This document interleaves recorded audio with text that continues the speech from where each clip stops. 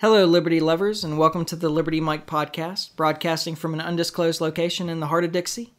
I am Michael. I'm here with Liberty Larry, and we'll be your host tonight. How's it going?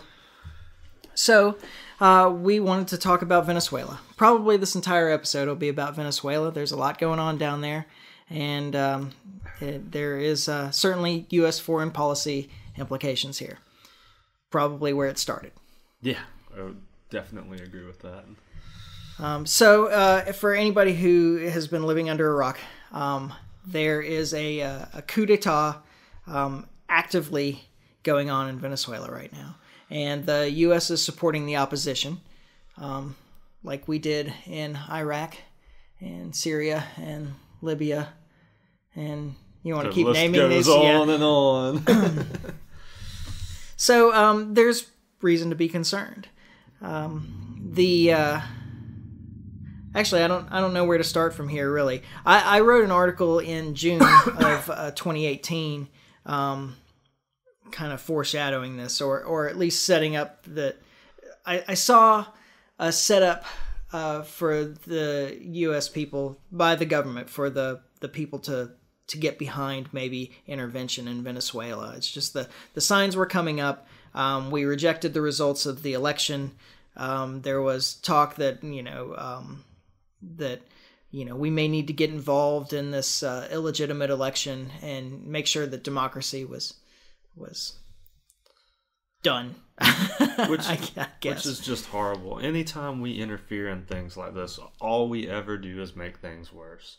I mean, it's just and that's really the the fundamental well actually that's not even the fundamental point the the fundamental point comes before that i think the the question is um, do we have any right the us government does the us government have any right to interfere with the with the politics of another sovereign nation um, I mean, right now the media is going on and on still, like they have been for the last two years, about Russian interference in our elections. And the Russian interference in our elections was that they ran some Facebook ads, that's I pretty well the think, gist of it. um, yeah. and that they spent far less on their Facebook ads than either of the major parties did, but somehow that affected the election yeah. let, let me say this, and I, I've actually suggested this to the Libertarian Party. I, I think in the um, congressional hearing, they found that the Russians had spent something like $100,000 on Facebook ads, and like 40 something of it, of 40 something thousand of it was after the election. Yeah. Right. So they they we're we're supposed to believe, and this is getting a little off track, but uh, we'll, come bring back it around. Yeah, Um, around. we're supposed to believe that with something like fifty-six thousand dollars in Facebook ads, the Russians managed to swing the election for Donald Trump. Um, now, I've suggested to the Libertarian Party that uh, we should put three times that one hundred and fifty thousand dollars in Facebook ads into the next election. Because if it only takes fifty thousand dollars to swing the election in your favor, Hey, we we're can, gonna- we yeah. can afford that. exactly, we can move from the the three percent that we got yep. to a majority. Into the presidency. I, I can't wait. but at any rate, so the media's been going on and on complaining about how the Russians interfered with our elections and that this is some terrible, terrible crime. War worthy, they're saying. I Oh, mean, yeah. this is a I mean, declaration of war that this we're, is we're talking you know, an attack on our democracy. Meanwhile, they are fully behind our intervention in Venezuela, um, immediately recognizing the opposition leader as the new president uh, in this attempted coup. Which I have to remind everybody, this man was sworn in on the streets of Yeah. Venezuela. Declared- by himself, by Yeah. the way. He swore himself in on the streets of Venezuela. So if, if that doesn't make him the right, the, the true leader, I don't know what does. Yeah, it.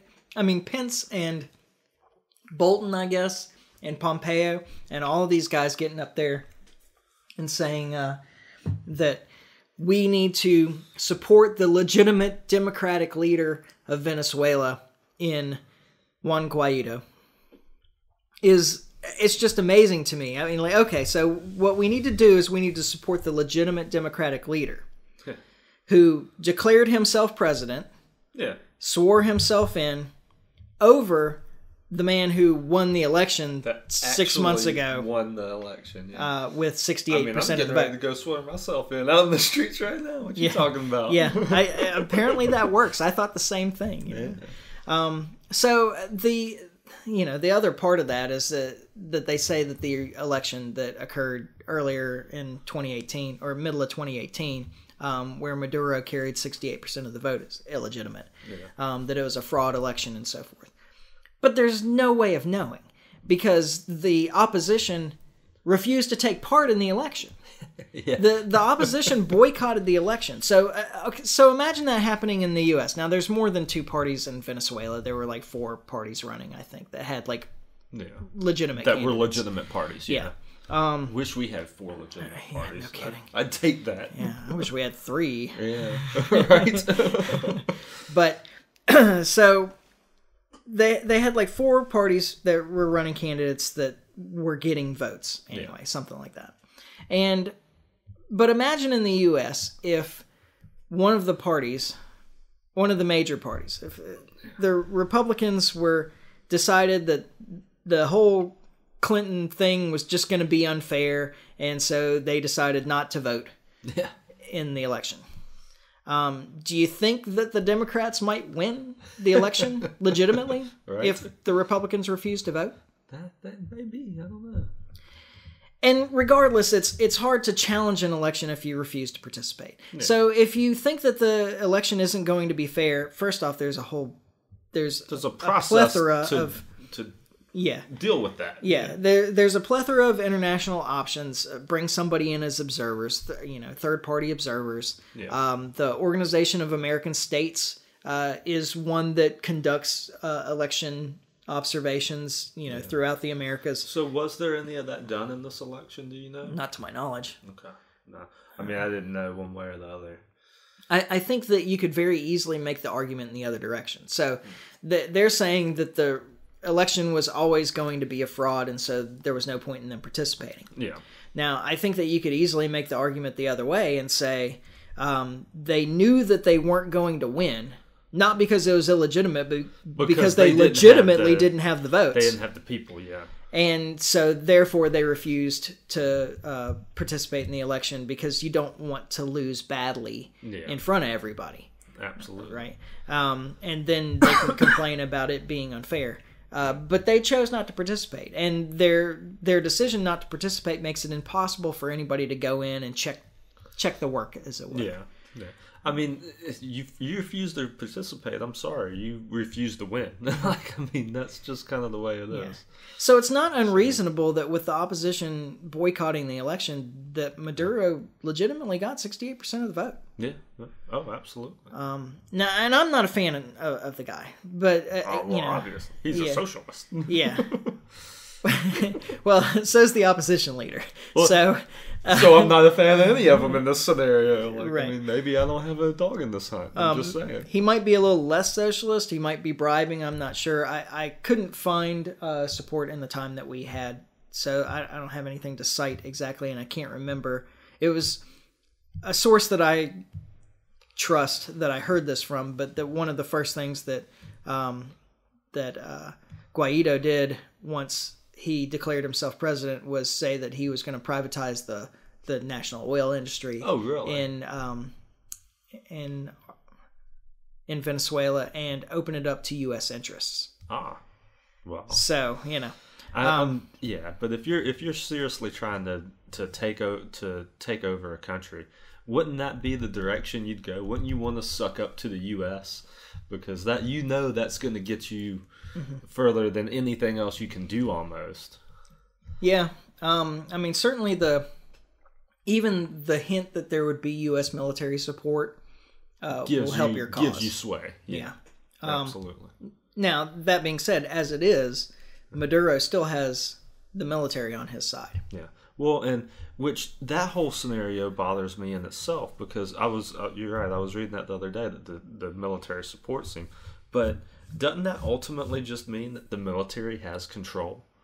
Because if he doesn't do what the military wants him to do, They just switch sides. they just switch sides. So I mean, at the end of the day, when you have this type of system, I mean, if if if you have the if you have to have the mil- military support to hold your mm-hmm. position, mm-hmm. the military has control over you at that point.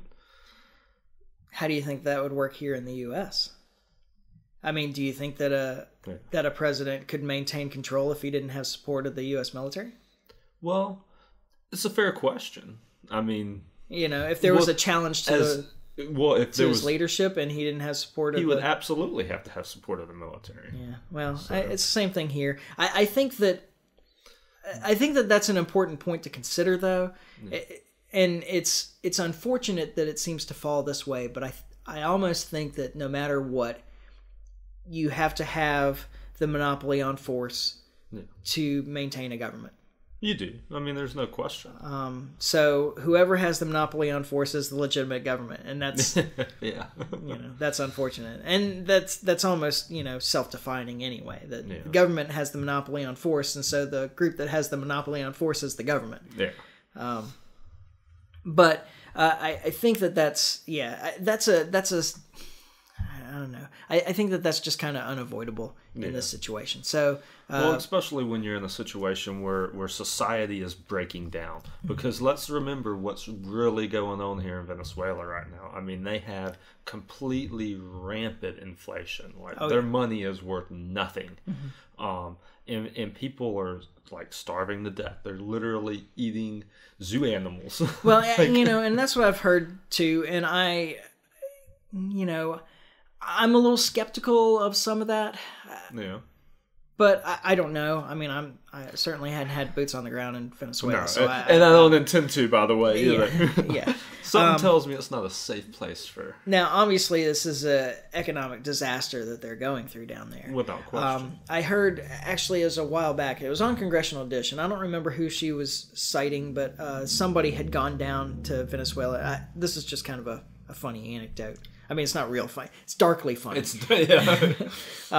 but uh, the you know some some reporter had gone down there and uh, was reporting on the situation in Venezuela and saying it wasn't really as bad as the American media was reporting, um, and that they had gone into a you know into a grocery store and it seemed fairly well stocked. Uh, they didn't have bread and they didn't have uh, like toilet paper, but the um, aisles were full of you know various other magazines and and other paper products, and there were you know other like you know cakes and what have you, and so Jen Briney at Congressional Dish was saying. So, you know, I, I believe this person doesn't sound like it's so bad. And I immediately thought this sounds very much like a let them eat cake moment. Yeah. You know, and the the story being that, you know, they were saying, well, the, the people are starving, there's no bread for them to eat.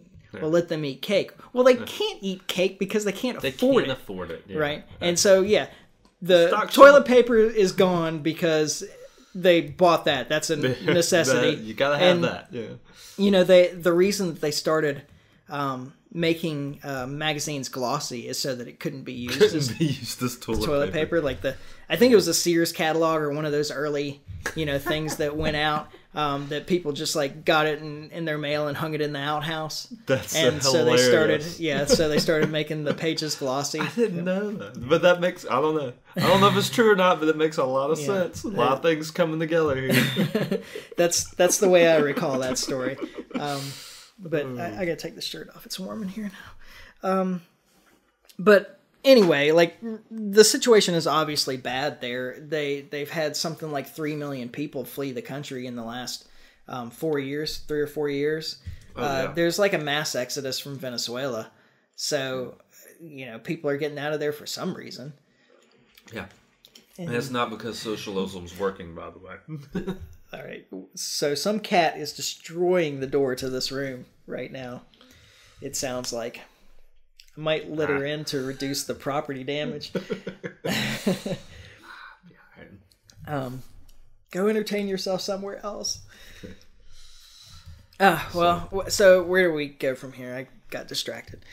Um, yeah, bad economics, and and that's you know that's something to to say here too is that I, I don't support Maduro. Yeah, I, I think that you know I, I don't want to see a, uh, an authoritarian you know socialist government. Uh, the truth is, even if Guaido takes control, he's also a socialist. Yeah. I and mean- so we'll end up back here the the libertarians aren't winning in this one, but I mean it's really more up to the it's up to the people of Venezuela to figure this out, and that's kind of the point. Yeah. is that you know we don't need to be sticking our nose in this. I mean we just we've got no business there, and I mean the only reason we're sticking our nose in it to begin with is because there's a bunch of oil there. If it wasn't for the oil, we don't give two craps about this. Yeah. We just don't. Venezuela has the largest proven oil reserves in the world, Yeah. more than Saudi Arabia. So, so this is no coincidence that we're all of a sudden interested in Venezuela. Yeah. There's other minerals too. Yeah. Um, and uh, speaking of, like, as long as, I'm sorry, I forgot to change the settings. Um, uh, speaking of this, the like getting involved in Venezuela is not a good. It's not just us in Venezuela. yeah. I mean, we we know that China and Russia support Maduro. Yeah. Um, and I'm not even sure that they support Maduro as much as that they don't want the U.S. to go in and take over another country. Yeah. Um, but part of it is that they, uh, the Russian government. Okay, so Citgo is um, controlled by the Venezuelan National Oil Company. I, I forget what it's called. Yeah. Um, but like PVSDA or PVDSA or it doesn't matter. Um, and uh, 49.9% of the ownership of the national oil company in Venezuela actually belongs to the Russians as collateral for loans that they've given to Venezuela over the last several years. Interesting. So, um, uh, one of these things that's been announced is that we're the U.S. government is trying to, and I'm going to use air quotes here, legally, um, transfer control of those assets that are outside of Venezuela uh, to Guaido and prevent Maduro from controlling those assets. Now, the idea there being that um, that Guaido can use those assets to keep pushing the coup. Yeah. Um, that you know, money wins wars, right? Yeah. Absolutely. So, but excuse me, I, I don't think the Russians are gonna just let this go. yeah. Um, they've provided billions of dollars in loans to to Venezuela in exchange for this A stake in the soil. yeah, the stake in this oil company. Um, they're not going to let it just go away. Like they're going to want to collect their money back one way or another. Oh, absolutely. Um, so it we are involving them by making the decisions that we're making. Like the U.S. is involving the Russians by making the decisions that it's making about what to do with Venezuelan assets. absolutely. Which again, you know, what right does the U.S. have to control Venezuelan assets just because they're outside of Venezuela? Yeah. Um, of course, you know, we they clearly think that they control everybody's assets. And the truth is they do in a lot of ways. I mean, Yeah. I, I pay I don't own this property. Yeah. I, I lease it from the government, Yep. essentially, because if I stop paying my property taxes, I will not have this property anymore. And people with guns will come tote you to jail. Yes, yes, they will, and take my property, Yep. Absolutely. which was apparently theirs in the first place. exactly. so what happens when you don't pay your rent. Now, I, I'm not paying rent. I'm Rent to the government. well, yeah, paying taxes. Um, well, I, I would like to kind of shift gears a little bit here. I mean, still talking about Venezuela, but I, I just want to give some background on this. Um, so we don't have uh, we don't have active military, depending on how you define that, in Venezuela. Uh, but I would certainly make the argument that we have been involved in this from beginning to end. Yeah. I mean, there was already talk um, when I wrote that article in June. Uh, there was a New York Times article in September um, that revealed that the uh, the Trump administration had been having secret talks with uh, re- rebellious military officers from Venezuela about a coup. Um, now, according to the article, the the talks ceased. That they, you know, they didn't Yeah. Didn't continue with through. the yeah. Um, but you know, here here we are. Exactly. Um, the uh, the U.S. was most likely involved in an attempted coup against um, Maduro's predecessor Hugo Chavez in 2002. Uh, oh, April, Chavez. Yeah, April, April 2002. Um, there was a, a coup attempt then um, that you know the U.S. immediately declared support for the opposition. Um, and the opposition, by the way, immediately dissolved all the democratic institutions in the country. They like dissolved the National Assembly. They dissolved the Supreme Court. Uh, you know, depending on who you ask, you could say maybe luckily um, Chavez was returned. Uh, the his supporters were able to take back the presidential palace, which is a little weird in and of itself. But I guess the White House is kind of the same thing. Um, It's our presidential palace. yeah. And uh, and Chavez returned to control. Chavez did handpick Maduro to be his successor, also. Yeah. Um, so this is a continuation, and in a lot of ways, in terms of uh, people's recognition that socialism doesn't work, I kind of wish um, that Chavez hadn't died Yeah. uh, because they a lot of like this blame wouldn't be shifted. yeah. Uh, I mean, Chavez was really well supported by the this you know socialist leaning. Um, people here in the U.S. thought he was great, and Oh, yeah. since uh, Maduro took over, they have the excuse of well, Maduro's not doing it right. Yeah. You know, he he he's pretty much doing the exact same thing that Chavez was doing. He was handpicked by Chavez, but Exactly. um, that was his but guy. since it's Yeah. collapsing under Maduro, not under Chavez, they can say that you know that he messed up Chavez's work. If Chavez was still there, everything would be fine. Which which goes back to the whole reason why socialism will fail anyway, because if it's so dependent on that person Yeah, being who the the, person, Yeah. then then your your system's doomed to fail.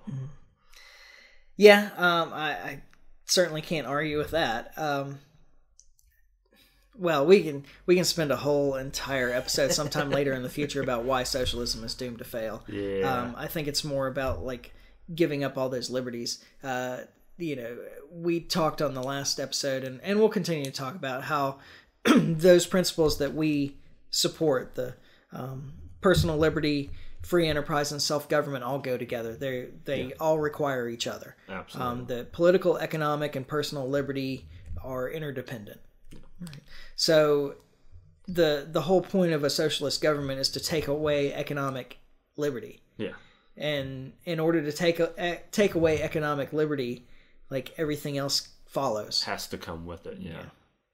Maybe not all at one time, but they're Right. they're the piece once you lose the first piece, the others start to crumble. Mm-hmm. Yeah, the rest goes the bit way. by bit. Yeah. But we'll we'll address that sometime in the future. I you know, for now, we won't even worry about like what kind of government it is. yeah. The the question is, do we does the United States government have any right to interfere with the self-determination of the Venezuelan people? Yeah. And I would challenge that it's a popular uprising right now too. Yeah. Um, you know, they got something like I think I heard uh, like around hundred thousand people protesting or whatever. But there's 32 million people that live in Venezuela, um, and Well, in my position there's more power to them. If if they if the people want to rise up and overthrow that government, more power to them.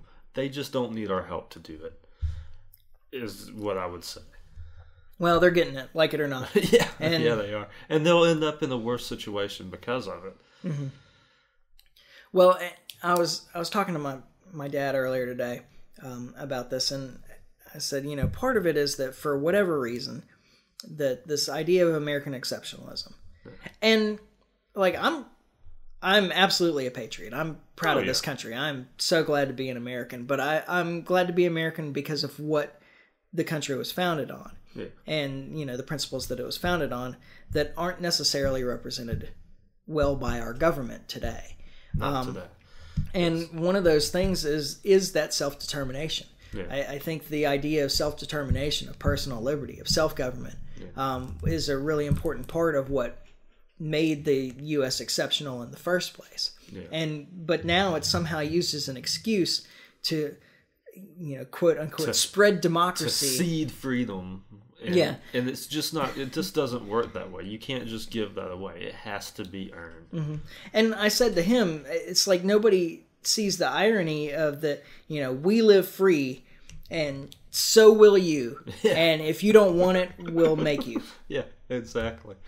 Um, ah, there was a Futurama quote, and I can't think of it. Well, That's but a it was, shame. But it's Bender. That show should be quoted a lot on this Yes. particular program.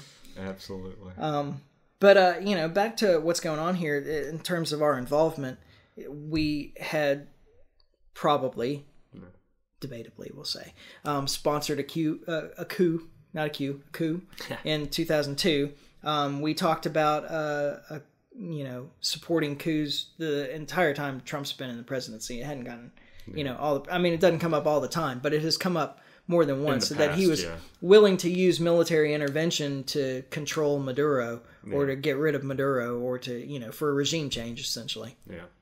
which you know we like to do.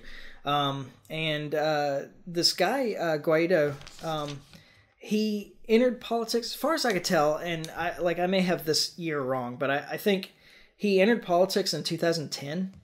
Um, and he okay, so this legitimate democratic leader of Venezuela, uh, of course, has never gotten a single vote for president.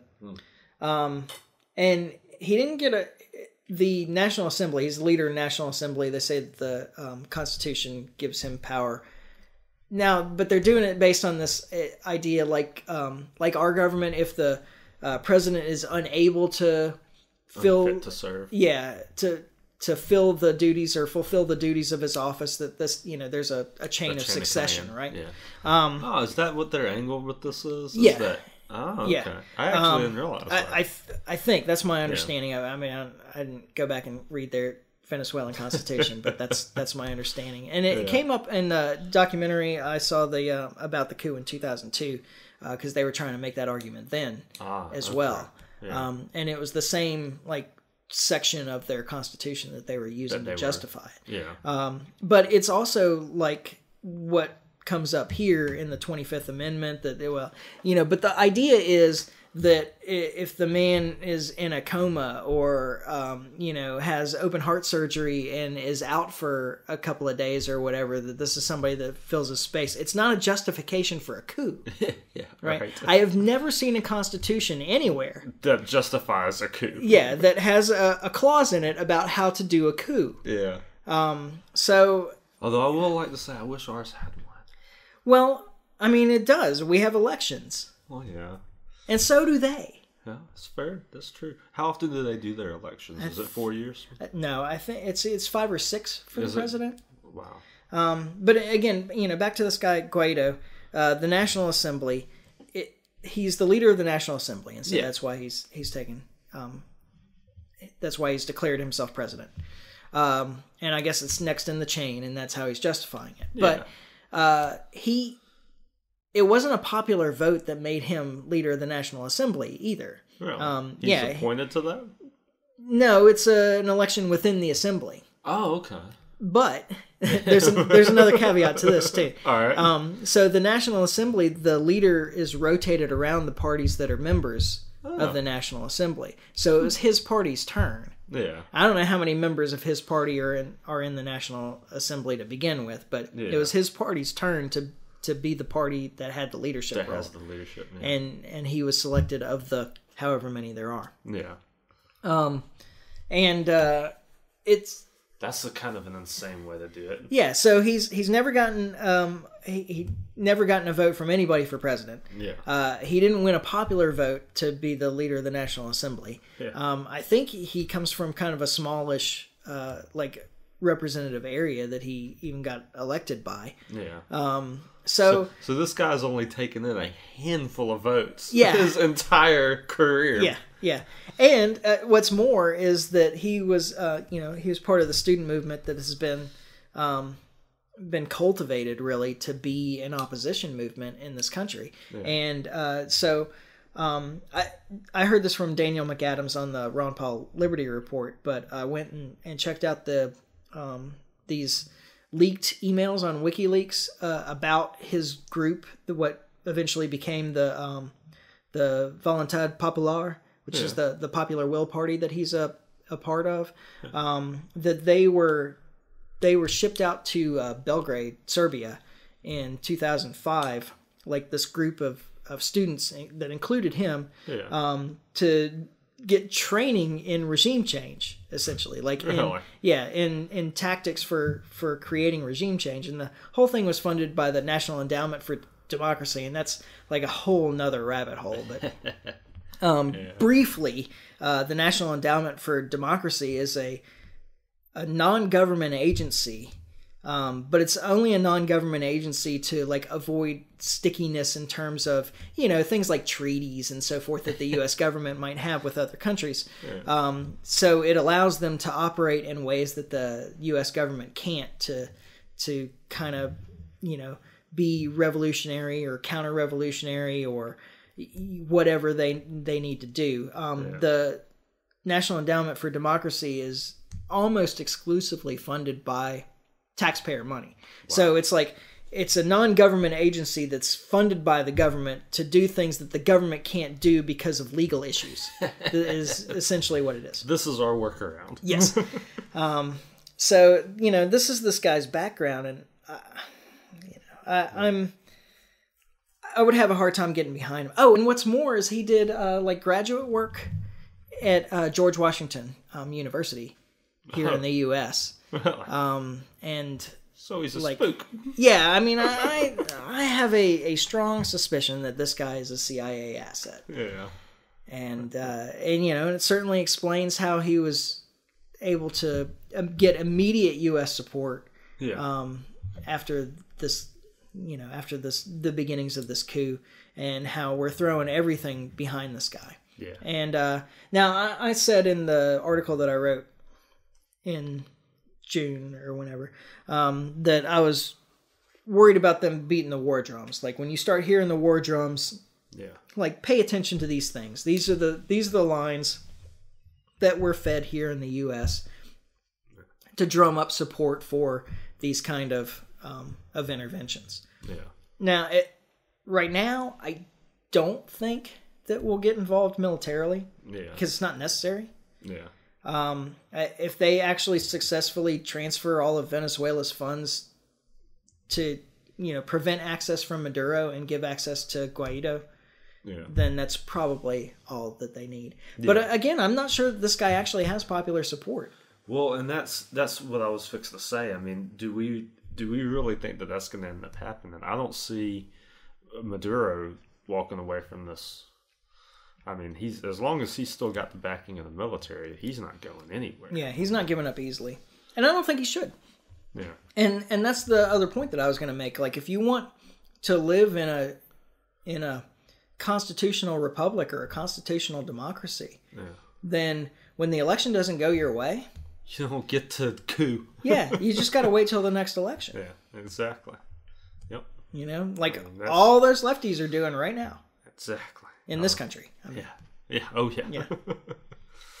oh. And man, are they going off, man? yeah. So, uh, was there anything else that I absolutely wanted to talk about? Yeah. I Oh. think I think we pretty well covered it all.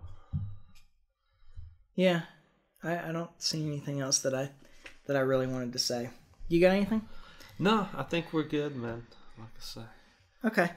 Well, I suppose it's time to wrap it up. I did want to kind of transition this a little bit into um, that uh, that article the, about the Ocasio Cortez stuff, but Oh, we can take care of her another day. Um, yeah, yeah, we'll address that some other time. Do we really need billionaires? Man, good question. Um, I can sum that up with one word. Yes. Well, you know, I mean, I think an argument could be made. I, I think an argument could be made that it would be a lot harder to be a billionaire if we had a real free market. Well, and that there you go. Yeah. That I would. Um, so I, I think that she actually has. There are some good things in that article. Like she's talking about the wealth tax. I think that that's like if you're gonna be taxed, Yeah. that's a better way to do it. Um, so? Yeah, well, because uh, taxing income pro- prevents accumulation of wealth. Yeah. Um, it means that you can never become wealthy. Yeah. it, and it it um it inhibits the the people that are actually doing something productive. yeah. Well, I wholeheartedly agree with that. Um, but how would this be any different? How would the wealth tax be different than an income tax? Yeah. Like how do I don't know. I don't. So explain to me how a wealth tax. Well, works, um, you you accumulate wealth through generating income, but you generate income by being productive. Yeah. At, at some point, you don't need to generate income anymore to be wealthy, Yeah. Right? Like you, you just have And wealth, so we and just you tax those people. no, we we tax everybody, but we tax based on wealth, not on income. Oh, okay. right? So like a lot of things aren't aren't really considered income. Like there's a whole bunch of investment stuff that makes you that can make you very wealthy, Yeah. but you're not generating an income off of it. You just you have a lot of assets, Assets, yeah. right? And so you could, I mean, it's just like it's like the difference between a property tax and an income tax. Okay. All right, so I'm I'm taxed on my property because it's an asset that I control, Yeah. Um, but being taxed on the property doesn't prevent me from buying more property. Yeah. um, whereas being taxed on an income can in a sense right like so Yeah. being taxed on my income can prevent me from generating more income and more opportunity for other people to generate income Yeah. right Because- by limiting the amount that i have to invest in growing my income um, Gotcha. whereas my my wealth exists as it is my my wealth is the end result of that income it's not So, and so you're basically taxed based on that then. Mm-hmm. Interesting. Um, so I, you know, I'm I'm opposed to taxes generally because we Yeah. see what our government does with our money. But Yeah. uh, like you know, things like the National Endowment for Democracy and what Yeah. have you. All right. But I, I don't think that that's a terrible idea if we're going to you know make some changes because we're obviously not going to end any kind of taxing. yeah. We're long, we're we're way far removed from that. Now the problem with her is that she wants it as in addition to. Yeah. So you got an income tax and a wealth tax. And, you know. Which is part of the problem I had when Herman Cain came out with his 999 program because it, it introduced a, a it what was it that introduced wasn't it a um I forget what the technical name of it is but it's where you tax um Oh, it was it was consumption. consumption tax consumption tax yeah. Yeah. I don't know why I couldn't pull that yeah so he he had pros- proposed part of his plan was a involved the consumption tax and and the reason I didn't like that was because now we've just now you can make those numbers anything you want them to be yeah we're mm-hmm. gonna ta- we're, it's gonna be like a nine percent now but when that's not enough to fund the government next thing you know it's like 20 percent No, that, that's crazy. Obviously, they're just going to reduce the government budget to fit what they're bringing in. yeah obviously because that's always worked Yeah. that's how it That's always what they always do. that's how it always plays out Yeah. so All right, well, um, let's go ahead and wrap this up then. Um, yeah, you can check out the the article that I wrote on thelibertymic.com. Um, you can see everything that we've produced out there. Uh, it's only been a couple of weeks since we did the last podcast, so we're on schedule. yep, yep. Um, man that's my word should be able to keep this up. Yeah, yeah. And at some point we will hit weekly. Yeah. And we would like some feedback. So uh, if you have, if you listen to either podcast, you know, we want to know that you're out there. And uh, Yeah, we do. so give us a, you know, drop us a line on Facebook or, or, you know, you can send it to my email if you listen to the first episode. And um, we'll be back uh, in a couple of weeks. So until then, live free. All right. Later. Ciao.